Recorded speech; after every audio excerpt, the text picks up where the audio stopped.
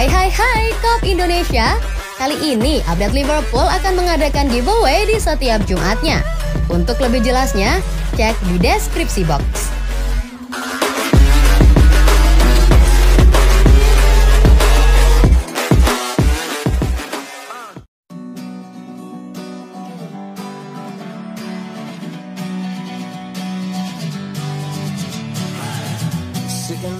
Termasuk Liverpool, Keito Nakamura ditaksir banyak klub Liga Premier. Klub Liga Premier yang mengagumi pemain Jepang Keito Nakamura menghadapi persaingan dari klub di luar Inggris untuk mendapatkan gelandang serang LASK. Daily Mail melaporkan pemain berusia 22 tahun itu menarik perhatian Liverpool, Aston Villa, dan Burnley yang baru promosi setelah bersinar di divisi teratas sepak bola Austria dan muncul sebagai salah satu pemain liga yang menonjol. Keito Nakamura mencetak 14 gol dan membuat 7 assist dalam 36 penampilan, membantu LASK lolos ke Liga Eropa dan memicu minat yang semakin besar padanya.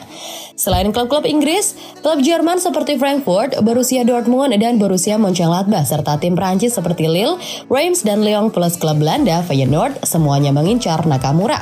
Selain bisa menjadi penyerang tengah, Nakamura juga bisa dikerahkan sebagai sayap kiri. Nakamura sekarang diperkirakan akan meninggalkan LASK dari musim panas ini. Dan selain peningkatannya untuk menjadi pemain baru yang bisa diandalkan Jepang di level internasional, pelonggaran kriteria GBE untuk pemain asing yang datang ke Inggris telah meningkatkan harapannya untuk dapat pindah ke Liga Premier jika ada pelamar yang berminat.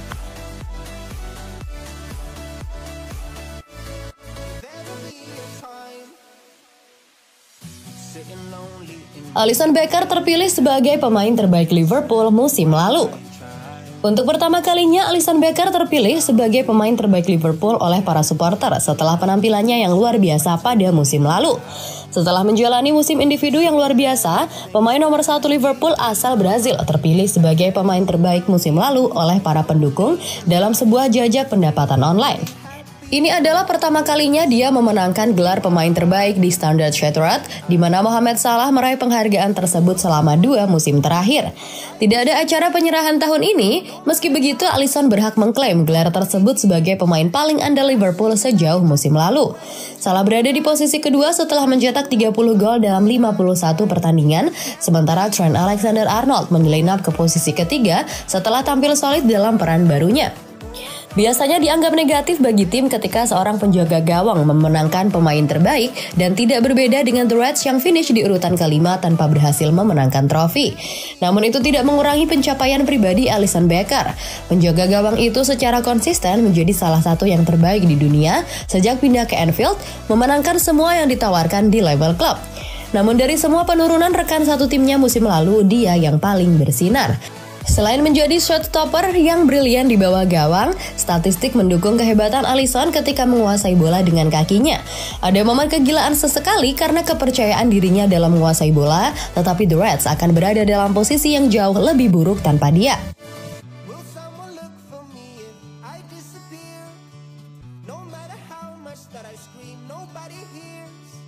Liverpool mulai prioritaskan transfer Havren Turem. Pembicaraan tentang kesepakatan transfer untuk gelandang OGC Nice, Efren Thuram diklaim telah mengalami kemajuan dalam beberapa pekan terakhir, di mana Liverpool menjadikannya sebagai prioritas. Setelah kesepakatan 35 juta pound sterling untuk Alexis McAllister, orang-orang seperti Manu Kone, Ryan Gravenberch, Gabri Vega, dan Romeo Lavia sedang dipertimbangkan. Namun menurut surat kabar Prancis yang nilai QP, Thuram sekarang dianggap sebagai tujuan prioritas dan sang pemain sendiri tergoda oleh potensi untuk bergabung dengan klub asal Merseyside. Kontrak telah berlipat ganda dalam beberapa minggu terakhir, bunyi laporan tersebut menjelaskan. Pemain tidak akan menolak untuk meninggalkan Nice terlepas dari ketertarikannya dengan klub dan telah menunjukkan bahwa dirinya tergoda oleh proyek Liverpool. Turen bergabung dengan Nice dari AS Monaco pada 2019 dan telah bermain 138 kali untuk klub serta telah melakoni debutnya untuk tim nasional Prancis. Kesepakatan apa pun untuk Efren Turen mungkin perlu menunggu hingga akhir musim panas karena sang gelandang saat ini sedang bertugas dengan Prancis U21 di Piala Eropa U21. Jadwal Premier League musim 2023-2024, Chelsea versus Liverpool jadi suguhan pekan pertama. Operator Premier League telah resmi mengumumkan jadwal Liga Inggris musim 2023-2024. Ada sejumlah jadwal menarik tersaji. Sejak awal Juni kemarin, Premier League 2022-2023 resmi berakhir. Manchester City resmi dinobatkan sebagai juara Liga Inggris musim lalu. Seperti musim-musim sebelumnya, ada break sekitar dua bulan sebelum musim baru digelar. Premier League musim 2023-2024 dikonfirmasi akan dimulai pada tanggal 11 Agustus 2023 mendatang. Turnamen ini akan digelar selama 38 pekan. Jika tidak halangan, pekan terakhir IPL 2023-2024 akan digelar pada hari Minggu, 19 Mei 2024 mendatang. Premier League musim 2023-2024 akan dibuka dengan duel antar juara. Juara Premier League, Manchester City akan bertemu dengan juara Championship musim lalu, Burnley. Dan di pekan pertama nanti, Premier League menyuguhkan satu partai big match. Dua tim top Inggris, Chelsea dan Liverpool akan saling berhadapan di Stamford Bridge. Kedua tim musim lalu finish di posisi yang kurang baik. Liverpool finish di peringkat 5, sementara Chelsea finish di peringkat 12. Laga perdana ini akan menjadi momentum bagi kedua klub untuk bangkit di musim depan. Sementara laga ini akan jadi pembuktian bagi Mauricio Pochettino yang ditunjuk jadi manajer baru The Blues.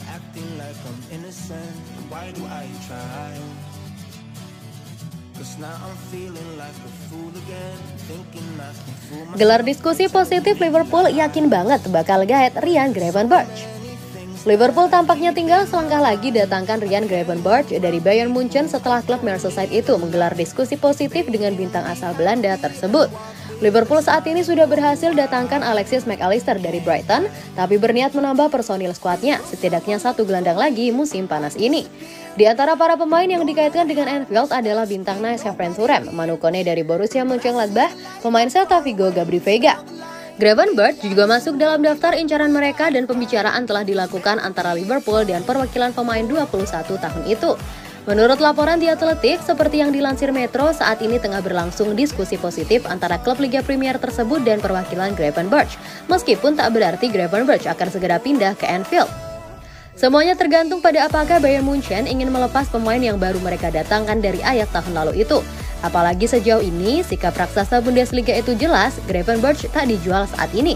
Pemain internasional Belanda itu baru tiga kali menjadi starter di Bundesliga musim lalu, di mana total ia sudah bermain dalam 24 pertandingan plus 6 penampilan lainnya di Liga Champions. Hai hai hai Kop Indonesia, kali ini update Liverpool akan mengadakan giveaway di setiap Jumatnya. Untuk lebih jelasnya, cek di deskripsi box.